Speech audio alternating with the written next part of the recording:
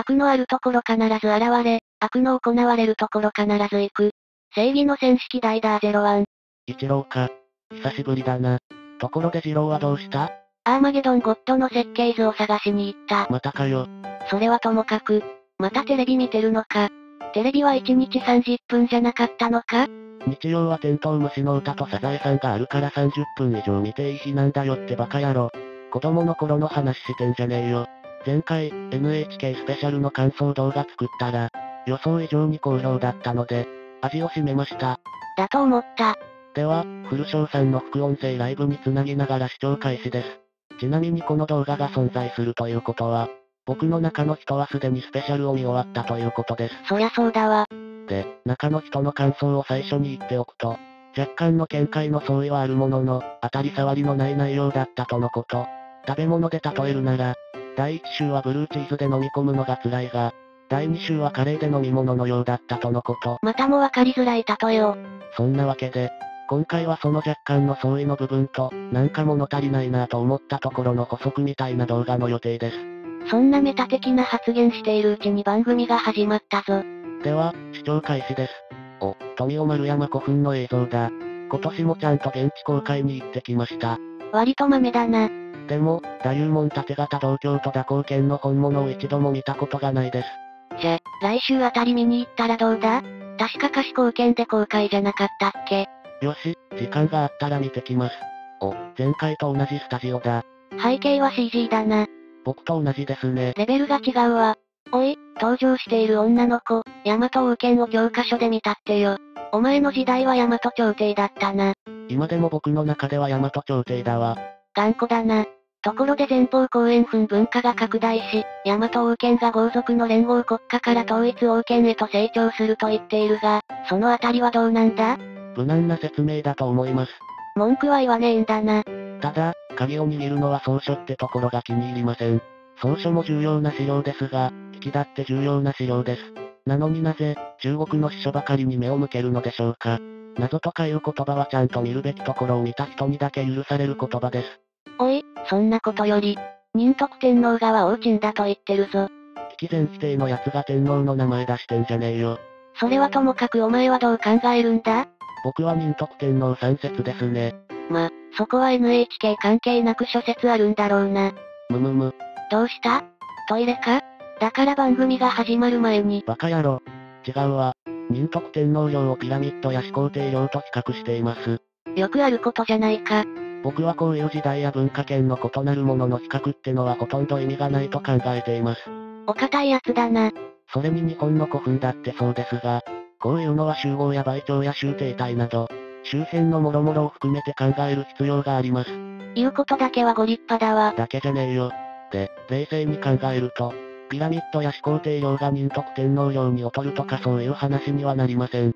ま、子供の喧嘩じゃあるまいしそうだろうよ。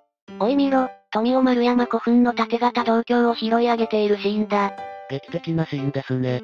今気づきましたが、縦型銅鏡も鏡面を上にしていたんですね。なんか不思議です。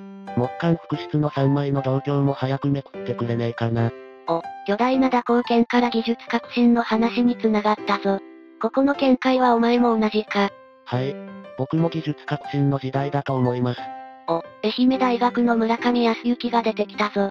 お前、ファンだったな。おっさんなんかのファンじゃねえよ。製鉄に詳しい研究者だと高く評価しているだけです。そうそう。製鉄のための高音を出すには不意語が必須で、確か巻き向くからも出ていました。その不意語が大型化し、さらに高音が出せるようになったんだって。なるほど。興味深いです。そういや関西人以外は知らないかもしれないけど、柏原に大型遺跡という製鉄遺跡があります。こういうところが鉄製品を作っていたんでしょうね。おいおい。和王さんを王神天皇に当ててきたぞ。危機を全無視している奴が何を言ってんだか。王神天皇を、三冠征伐で有名な神宮皇后の息子と紹介しやがれ。そんなことしたら NHK が大炎上だわ。なお、公海道王妃には神は391年以降に半島に来たとあり、3は413年、421年、425年の剣士だから、やはり391年あたりが王神で413年、421年、425年の3が仁徳かなと僕は予想します。しかし、仁徳天皇陵に続き王神天皇陵を出すところを見ると、NHK も、危機は認めなくても陵墓の指定だけは認めているってことかもな。なんかそのあたりのちぐはぐさに違和感があります。しかし、この主張だと、王神天皇陵は425年より後となります。ちょっと新しすぎないかと疑問です。お、見ろ。韓国で見つかった前方後円墳の話だぞ。これだけでスペシャル1本作れる内容です。なお、前方後円墳が見つかるのは4三岩あたりで、日本書紀でいうところのミマナ4県あたりです。近現代、ミマナという言葉は言葉狩りされ、カヤという言葉に置き換えられています。でも、ミマナ4県あたりはカヤではありません。馬漢の南です。さあ、原点無視でミマナという言葉を抹消する場合、どう説明してくるか見物です。意地悪か。でも、すんなりスルーしたぞ。この野郎。でも、今回は、史事説と徳は百済白木美マから新官母官七国諸軍寺アントン大将軍。これをスルーするわけにもいくまいでしょうね。スルーしたぞ。この野郎。ま、そういうのは GHQ の占領政策の延長なんだからあまり NHK を責めてやるな。それより、出土物が日本のものと似ていることから、前方後円墳は朝鮮半島からはではなく、和から朝鮮半島に伝わったとちゃんと説明しているぞ。少し安心しました。昔は和人なんてくだらの傭兵とか海賊なんて言われてましたからね。時代もようやく変わったということだ。おや、中国では三国志の時代、朝鮮半島では三国時代みたいな説明になっているぞ。すごく誤解を招く説明だな。五個十六国時代や南北時代って言葉を使いやがれ。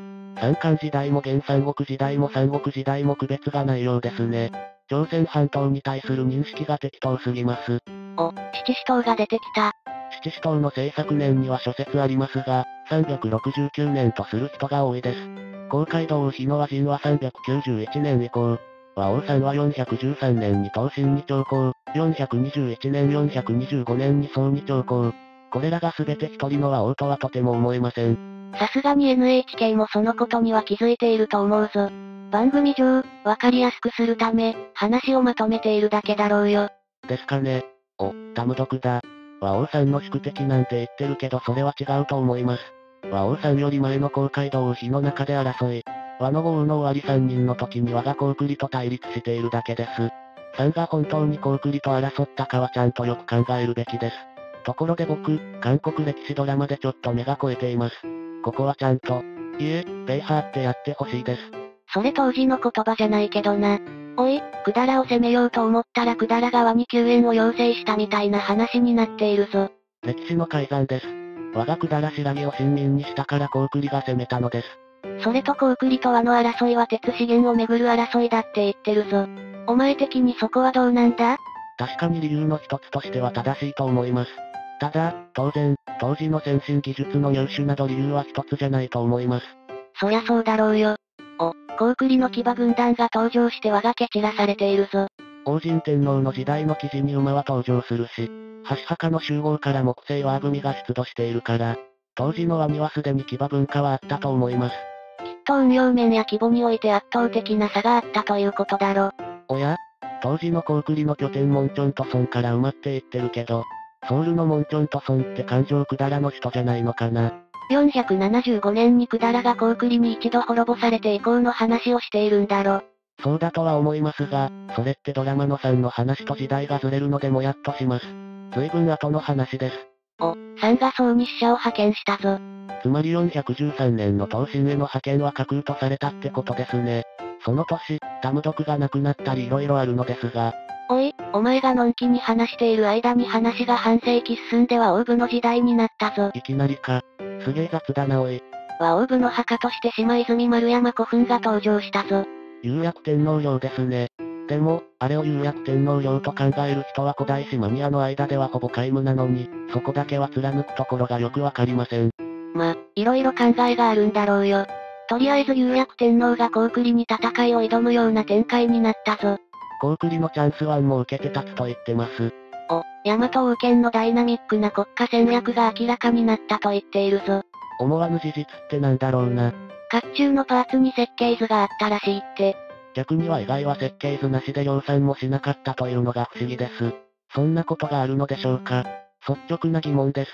おい、有楽天皇が馬を手に入れたとしているぞ。王神天皇の間違いじゃないでしょうか。ちょっと年代感が混乱してきました。ストーリー仕立てにするあまり、物語としてはわかりやすいけど、歴史としてはわかりにくい展開ですね。おい、馬は東日本からだって。それはそれで合っているけど、薪は東国以外にも当然あったと思います。そら、ヒムカの駒という言葉もあるくらいだもんな。おい、衝撃的な展開だぞ。日本書紀には敵を大いに破ったと記されていますだって。敵を軽んじるくせにそういう一文だけ抜き出すのは反則です。歴史はもっと全体を見なければいけません。未マナ日本府が白木の要請を受けて確かに高栗を大いに破る記事がありますが、こういう日本書紀にしかない記事なんかは慎重に取り扱うべきだと僕は思います。未マナって言葉を使えという割にそういうところは慎重なんだ。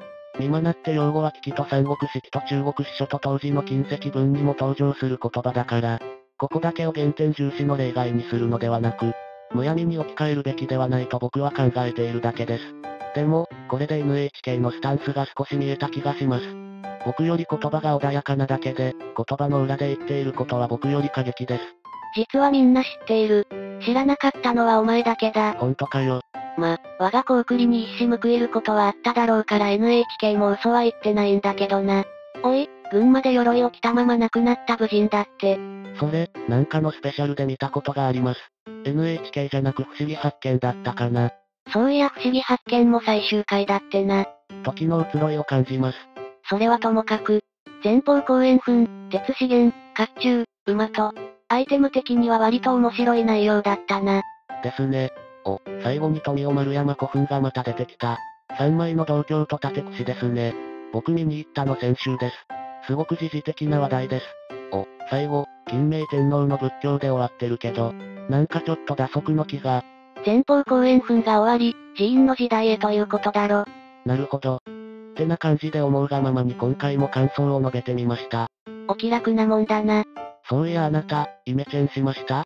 今頃か。ではでは。